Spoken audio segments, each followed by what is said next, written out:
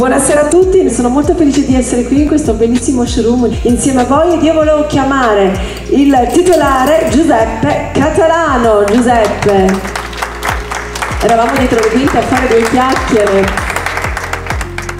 e chiamerei il presidente amministratore delegato della Nissan Italia, Marco Toro. Come va? Allora Marco, raccontaci un po'. Oggi è una giornata di festa, siamo qui a celebrare, ma abbiamo un sacco di, di novità, quindi siamo pronti ad ascoltare tutte queste novità. Benissimo, buonasera a tutti, grazie Elisabetta di essere qui con noi, è veramente un piacere e un onore per noi averti con noi. Ma siamo qui per tre eh, circostanze, tre celebrazioni. La prima, io direi, è il compleanno, 20, 20 anni. anni di Alla mia età, Auto con Nissa. Seconda circostanza che evidentemente celebriamo è l'apertura di questa nuova sede, eh, vi spiegheremo poi come mai Nissauto apre in questa nuova sede e ovviamente celebriamo anche il lancio della nostra auto di punta che è il Nissan Qashqai. Bene, quindi vent'anni come dicevi tu sono veramente tanti, è un'età importantissima. Che opinione ha Nissan Auto di Nissan? Beh, l'opinione è ovviamente positiva, molto positiva, il fatto di essere qui insieme avere l'onore di avere il presidente della Nissa Italia con il suo staff è molto positivo, sono molto contento, è un lavoro fatto insieme alla mia famiglia che continueremo a farlo, il nostro obiettivo è quello di continuare, di migliorarci continuamente e di guardare al futuro con ottimismo. Con ottimismo, visto il periodo. E invece Nissan Auto, che opinione ha di Nissan? Facciamo le, le domande al contrario. Ma allora, eh, io ho avuto la fortuna di vederli crescere perché lo ricordavamo stamattina con, con, Giuseppe, io ero direttore di area quando Nissauto fu nominato nel novembre del 2001, io ero capo area, avevo qualche capello nero in più, anche tu Giuseppe qualche capello nero in più e li ho visti crescere e devo dire che questa crescita è stata sicuramente una crescita molto molto positiva lo dimostrano i numeri, eh, Nissa Auto condivideva la piazza di Torino con un altro concessionario, eh, è nato con Nissan con una sede sola, oggi ci ritroviamo a celebrare l'apertura della quarta sede eh, su questa piazza e eh, lo celebriamo come unico concessionario Nissan su Torino, quindi ha sbaragliato la concorrenza, ha investito per la marca, questa è la quarta sede e eh, la marca lo ha ricambiato con una estensione di territorio, la cosa migliore che può fare la marca in concreto per eh, ricambiare la fiducia, un territorio che cresce del 50%, concessionario esclusivo su Torino, devo dire, si è meritato assolutamente con il sudore, il sacrificio, tanto lavoro suo di tutta quanta la squadra che oggi celebriamo qui, quindi l'opinione è assolutamente positiva. Bene, bene, ovviamente, sono molto felice investimento no? in questo periodo che è un periodo veramente difficile, gli ultimi due anni per tutti noi ci ha visto veramente eh, no? attraversare dei momenti molto difficili, gli investimenti che avete fatto quindi sono degli investimenti molto importanti e ci vuole molto coraggio. Beh, assolutamente sì, noi cerchiamo ovviamente di dargli una mano eh, e quindi ricordo ancora Giuseppe quando mi chiamasti ero in macchina ricevesti questo assegno di Nissan a parziale copertura del tuo investimento che però evidentemente ti fece piacere era il minimo e quello che ti sei meritato quindi come casa intanto cerchiamo di appoggiarti con un investimento e poi il miglior supporto è accompagnare il lancio di una nuova sede con il lancio di un nuovo prodotto e quindi poi sviluppare una campagna di comunicazione che serve ad accelerare la fase di lancio Ovvio, io mi propongo per la prossima campagna Nissan, eh? si sa. Senz'altro. No, a proposito di campagne, io ho visto comunque tante affissioni, tante pubblicità, Torino tappezzata. È vero, abbiamo sviluppato una campagna per loro. Loro hanno scelto dal giorno 1 di identificarsi molto con la marca perché si chiama Nissauto. Io ricordo ancora che quando fosti nominato Dovremmo fare un interpello al Giappone per sapere se potevi rubarti il nome Nissan nel nome della tua concessionaria. Quindi ti sei sempre contraddistinto come Nissan e quindi abbiamo sviluppato una campagna di comunicazione giapponese, quindi con il sollevante al centro e tre elementi che Nissan ha come elementi distintivi, quindi l'innovazione, la tecnologia e l'excitement. Te li Beh, spiego? Io di questo Spiega. Ne vado orgoglioso e ringrazio il Presidente, mm, lo ringrazio per il contributo comunque che è stato molto sostanzioso ed è stata la prima volta, te l'avevo detto, te lo dico davanti a tutti, ti ringrazio di nuovo, è stato veramente molto molto, da parte nostra molto gradito. La comunicazione è fantastica, andremo avanti ancora altri mesi, non è finita, è solo l'inizio questo. Quello che noi faremo, io e la mia famiglia, tutti i nostri collaboratori, veramente di dare grande lustro a Torino, al marchio che rappresentiamo e dare grande soddisfazione alla Nissa Italia e al Presidente qui, Marco Toro.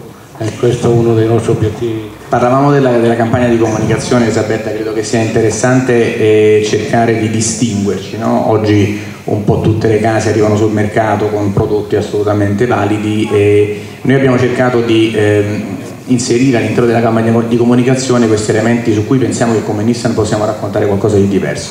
In innovazione io direi eh, tre cose essenzialmente. Noi abbiamo innovato creando un segmento di mercato, quello del Qashqai, che non esisteva e soprattutto qui eh, a Torino questa è stata sempre la città delle auto piccole, no? quindi il cliente italiano era sempre abituato a, a, queste auto di piccole dimensioni, noi con Qashqai abbiamo innovato, creato un segmento di mercato che non esisteva e che oggi rappresenta il 40% del mercato, la maggioranza degli italiani acquista auto con le ruote alte. Quindi questa è sicuramente un'innovazione. L'altra innovazione è il veicolo elettrico, il veicolo elettrico è tecnologia eh, all'avanguardia come innovazione però abbiamo aggiunto un'altra innovazione in questo processo che va verso l'elettrificazione, oggi il mercato va sempre di più, oggi 40 italiani su 100 acquistano un'auto elettrificata, parte di questa elettrificazione è l'ibrido, parte l'elettrico, bene noi lanceremo appunto con Cascai una motorizzazione nuova che si chiama e-Power che è quello che noi chiamiamo proprio fare esatto. questa domanda, esatto.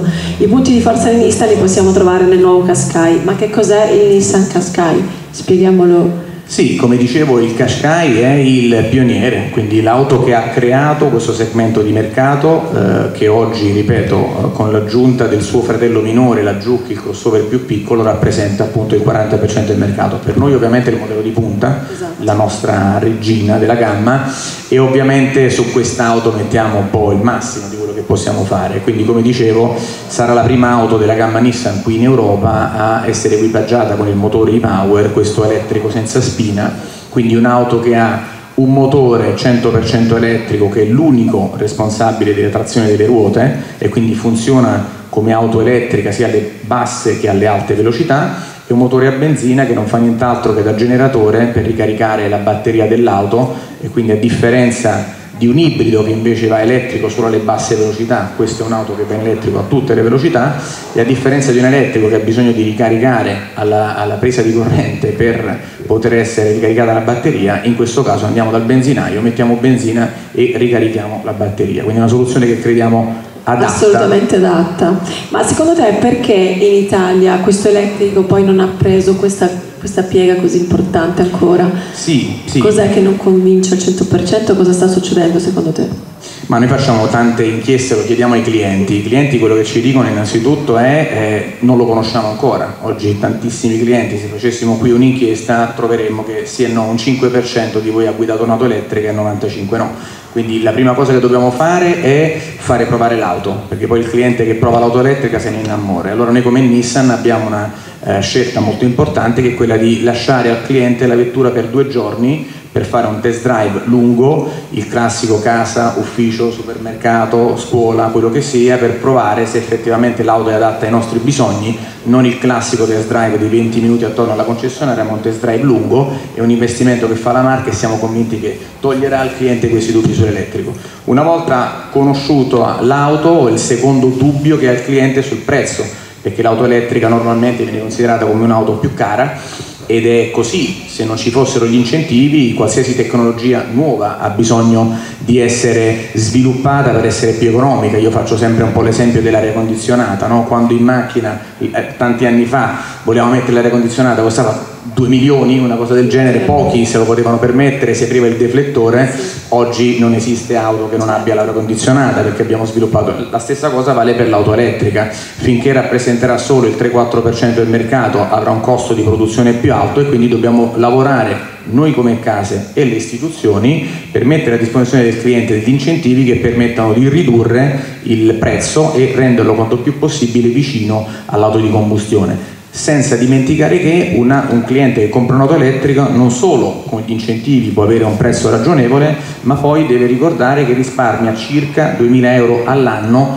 in costi d'uso, perché l'energia elettrica come carburante costa di meno della benzina, perché il costo della manutenzione è il 40% inferiore a quello di un'auto di combustione, perché se parcheggiamo sulle linee blu non paghiamo, tutto questo vale circa 2000 euro all'anno, se consideriamo che un italiano medio possiede la, eh, l'auto per 11 anni, 2.000 euro per 11 anni fanno 22.000 euro che guarda caso è il costo di acquisto di un'auto dopo gli incentivi.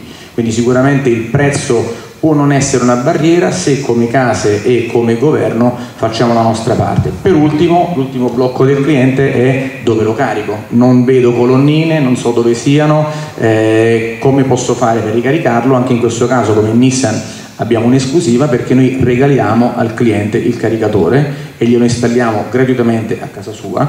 Ci sono ancora tanti clienti che pensano che se si trovano in un condominio devono chiedere autorizzazioni al condominio per l'installazione della colonnina, non è così, oggi bisogna solamente informare, però non si conoscono queste cose, quindi noi come Nissan una volta delegati dal cliente ci preoccupiamo di tutto quanto e se il cliente non ha un posto auto dove poter mettere il caricatore lo mandiamo in concessionaria a ricaricare a un prezzo circa del 40% più basso rispetto a quello che trova sul mercato e se non è contento del concessionario può andare alle colonnine NLX che sono sul territorio, ricaricare gratuitamente per due anni e avere anche attraverso Enel uno sconto sulla bolletta della luce.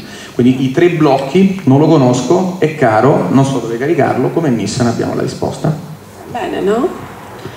Direi ottimo, ti avrei voluto come compagno di banco ai tempi della scuola.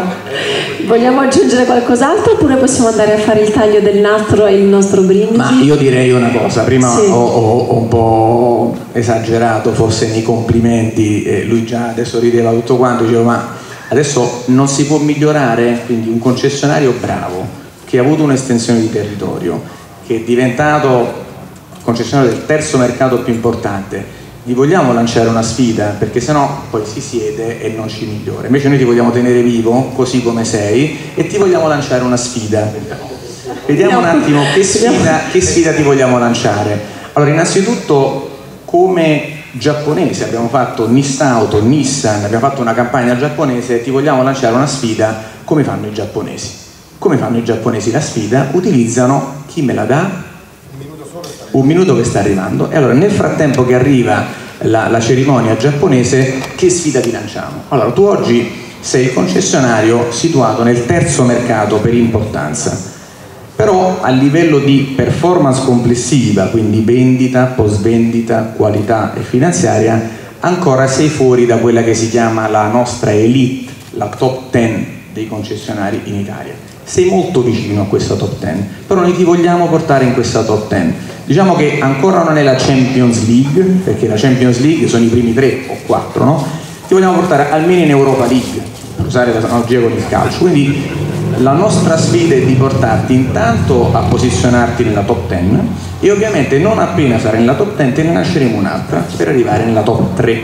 Però ti vogliamo bene, quindi non ti vogliamo mettere subito pressione, quindi top 10 minimo, speriamo adesso che faremo questa cerimonia, che tu possa arrivare nella top 10. Questa è la sfida che ti vogliamo lanciare, non solo come vendita, ma nel combinato di vendita, post vendita, soddisfazione clienti e finanziaria. Come facciamo questa sfida? Lo facciamo con il Daruma. Che cos'è questa bambolina che si chiama Daruma? Allora, come vedete ha due occhi, tutti e due bianchi. Cosa fa il giapponese? Il giapponese è un po' quello della cultura del samurai, quello che si sfida e arriverebbe anche a dare la sua vita per raggiungere quella sfida, quindi ci si mette seriamente. Cosa fa il giapponese quando lancia una sfida? Di questi due occhi ne colora uno, solo uno, e quando questa sfida si completa colora l'altro. Nel frattempo, durante questa sfida, che ovviamente è sfidante, quindi tu devi arrivare nel top 10, questo Daruma viene lasciato con un occhio sì e un occhio no e ti guarda tutti i giorni della tua vita e ti ricorda wow, ti ricorda te lo ricorda eh Giuseppe, ti ricorda quindi tu lo vedrai quindi noi te lo vogliamo mettere in un posto diciamo, dove io lo posso vedere tutti i giorni ovvio no? Eh. potrei dire a casa tua, però Eh. siccome sei più tempo in concessionaria che a casa, Appunto, meglio che lo mettiamo concessionaria. in Sulla concessionaria. scrivania lo mettiamo. Sulla scrivania. A- alla vista d'occhio tua e io direi degli altri. Quindi poi quando arriverai nella top 10 coloreremo di nuovo l'altro occhio a sigillo di questa sfida che si è compiuta. Allora, per farlo alla maniera giapponese, questo occhio lo divideremo in due, anzi, io suggerisco in tre, perché qui ci sta mancando Riccardo, l'altro catalano. Dove sta? Vieni, vieni, vieni, Riccardo. Vieni. Riccardo, vieni. Allora, venite qui e quindi coloriamo l'occhio in questa maniera. Quindi io divido l'occhio in due, una parte la coloro io e poi vi divido l'altro occhio a metà e ciascuno di voi due ne firmerà una metà. Ok? Perfetto. Per anzianità. Al buon Giuseppe devi colorare questo quarto, non invadere quella di tuo figlio, no, solo questo. Eh, so che sei un po' esuberante Eh, e cerchi di... eh, rendere- Ma gli ho lasciato un pezzettino. eh, eh, lasciagli qualche cosa. Sì, gli ho lasciato un Riccardo. pezzettino. No, è una cosa che non ci aspettavamo. eh. giapponese, quindi come vedi la stessa cosa che abbiamo fatto adesso la faremo quando arriverai nella top 10. E per cortesia fatemi una telefonata quando accadrà questa cosa, grazie. Sì, non è che se fai quest'ansia liberare. io ti firmo perché questo ovviamente se no eh, Sì, resta non firmato. valore, no? ti metto una data oggi 22 23, 23, 23. 9 21 e ti scrivo top 10 Adoro. eh? Hai visto? Bellissimo. Quindi, allora, un'ultima cosa che dice questa, questa tradizione giapponese è legata alla forma di questo Daruma. Perché il Daruma ha questa forma ovoidale? Lo simulo qua perché mi serve un Sì. posto in cui si possa muovere. Il giapponese che dice che se la sfida è una sfida forte, questa bambolina sarà sottoposta alle intemperie, al vento, a ostacoli, troverai ostacoli durante il tuo cammino e quindi questo Daruma deve tornare in piedi. Vabbè, Quindi questa forma rappresenta la tenacia, la perseveranza che dobbiamo avere durante questa sfida in maniera tale che questo Daruma lo riportiamo sempre in piedi in temperie che si chiamino Covid, che si chiami qualsiasi cosa, ritardo di consegne, quello che sia, dobbiamo avere la forza e la perseveranza di farlo tornare in piedi fino a, fino a colorare l'altro occhio. E io direi di andare a fare il taglio del nastro assolutamente. Tre.